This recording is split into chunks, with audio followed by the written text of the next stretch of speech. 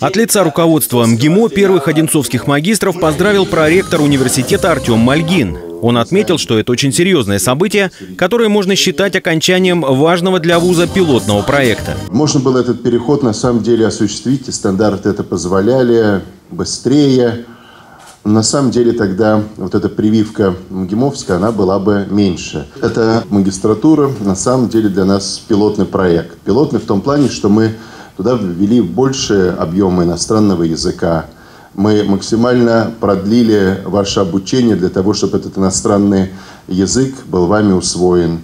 Был изменен учебный э, план. В ходе защиты магистрских диссертаций представители Государственной комиссии единодушно отметили высокий уровень подготовки и профессиональных навыков выпускников, серьезную научную и практическую значимость их итоговых работ.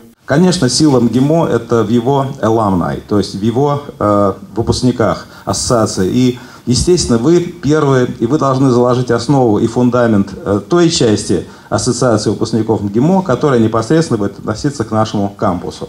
И мы на вас будем смотреть, будем равняться. Стандартные дипломы, которые вручались первым магистрам Одинцовского кампуса знаменитого вуза, были абсолютно идентичны тем, что получают их коллеги на проспекте Вернадского.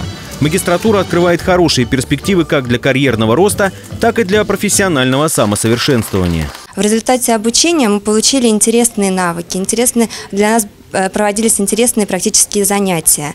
Мы научились э, навыкам коммуникации, управления. И в дальнейшем в нашей деятельности это нам обязательно пригодится. От профессорского преподавательского состава факультета управления своих выпускников поздравила декан Ольга Склюева. Петр Горохов, Артем Ломоносов, телекомпания «Одинцова».